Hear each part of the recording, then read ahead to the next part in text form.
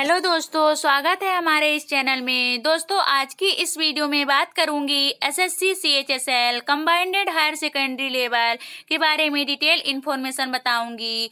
दोस्तों यहाँ पर हम पोस्ट देख लेते हैं कि कौन कौन सी पोस्ट निकली हुई है, कितनी वैकेंसी है और क्या सैलरी रखी है। सो दोस्तों, इसमें पोस्ट की बात करें lower division clerk junior secretariat assistant postal assistant sorting assistant data entry operator and data operator grade A की पोस्ट रखी गई है। सो दोस्तों, अगर मैं यहाँ पर वैकेंसी की बात करूँ तो टोटल वैकेंसी पाँच हज़ार है।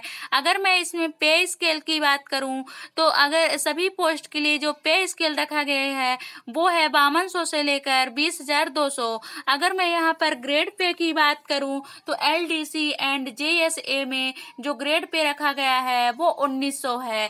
अगर मैं अदर पोस्ट के लिए देखूँ तो ग्रेड पे जो रखा गया है, वो चौबीस सौ है। दोस्तों अगर मैं यहाँ सभी पोस्ट के लिए अगर सैलरी की बात करूँ तो जो टोटल सैलरी है वो पचपन हज़ार मिलेगी आपको। तो so, दोस्तों अब मैं बात कर लेती हूँ क्वालिफिकेशन इसमें क्या क्वालिफिकेशन है? Ten plus two.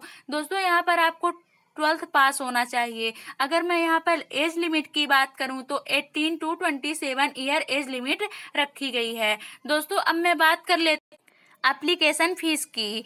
General and OBC के लिए जो एप्लीकेशन फ़ी रखी गई है, वो है हंड्रेड रुपीज़ और अदर कैटेगरी के लिए S C S T female experience serviceman के लिए जो कोई फ़ीस नहीं रखी गई है। सो दोस्तों, अब मैं बात कर लेती हूँ इम्पोर्टेंट डेट फॉर्म फिल करने की इम्पोर्टेंट डेट क्या स्टार्टिंग डेट क्या रहेगी एंड लास्ट डेट क्या रहेगी? जो फॉर्म फिल करने की स्टार्टिंग डेट रहेगी, वो छः नवंबर रखी गई है और लास्ट डेट जो रखी गई है वो पंद्रह दिसंबर रखी गई है। और लास्ट डेट फॉर पेमेंट जो आप पेमेंट करोगे ऑनलाइन अप्लीकेशन फ़ी की तो वो सत्रह दिसंबर रखी गई है। दोस्तों, यहाँ पर जो हमारा पेपर होगा फ़र्स्ट पेपर होगा कंप्यूटर बेस पर वो उसकी जो डेट रखी गई है, बारह बारह से लेकर सत्ताईस अप्रैल के बीच में जो इसका पेपर होगा। तो दोस्तों, अब मैं बात कर लेती हूँ यहाँ पर कि जॉब लोकेशन। जॉब लोकेशन में ऑल इंडिया सप्लाई कर सकते हैं। अब दोस्तों, मैं यहाँ पर बात कर लेती हूँ पेपर की। यहाँ पर हमारे तीन पेपर होंगे। यहाँ पर टायर वन के बारे में बात करूँ तो यहाँ पर कंप्यूटर बेस्ड एग्जामिनेशन होगा सी बी टी यहाँ पर जो क्वेश्चन रहेंगे वो objective types with multiple choice रहेंगे। और इसमें अगर सेकंड पेपर की बात करूँ, टायर टू तो डिस्क्रिप्टिव पेपर रहेंगे, पेन एंड पेपर मोड पे।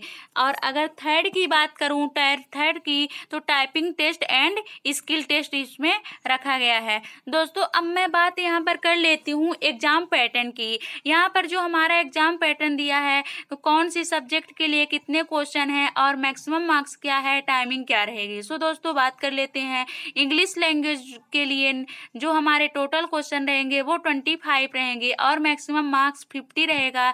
जनरल इंटेलिजेंस के लिए ट्वेंटी फाइव क्वेश्चन रहेंगे और मैक्सिमम मार्क्स फिफ्टी रखा गया है। क्वान्टिटेटिव क्वान्टिटेटिव एप्टीट्यूड के लिए ट्वेंटी फाइव क्वेश्चन रखा गया है एंड मैक्सिमम मार्क्स जो रखा गया है, वो फिफ्टी है। जनरल अवेयरनेस के लिए इसी तरह देखूँ तो ट्वेंटी फाइव क्वेश्चन रखे गए हैं। एंड जो मैक्सिमम मार्क्स रखा गया है वो फिफ्टी है। सो so, दोस्तों यहाँ पर मैं देख लेती हूँ कि टोटल जो क्वेश्चन है वो हंड्रेड है। और आप देख सकते हैं कि जो मैक्सिमम मार्क्स लिखा हुआ है वो दिया गया है, वो आपको मैक्सिमम मार्क्स क्या रहेगा? टू हंड्रेड रहेगा।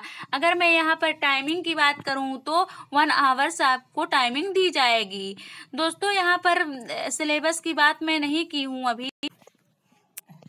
नेक्स्ट वीडियो में सिलेबस के बारे में डिटेल इन्फॉर्मेशन बताऊँगी। सो so, दोस्तों आपको इससे रिलेटेड अगर और इन्फॉर्मेशन चाहिए तो वीडियो के डिस्क्रिप्सन बॉक्स में लिंक दिया हुआ है। सो so, वहाँ पर आप क्लिक करके देख सकते हैं। सो so, फ्रेंड अगर वीडियो अच्छा लगा हो तो लाइक सब्सक्राइब शेयर ज़रूर करें।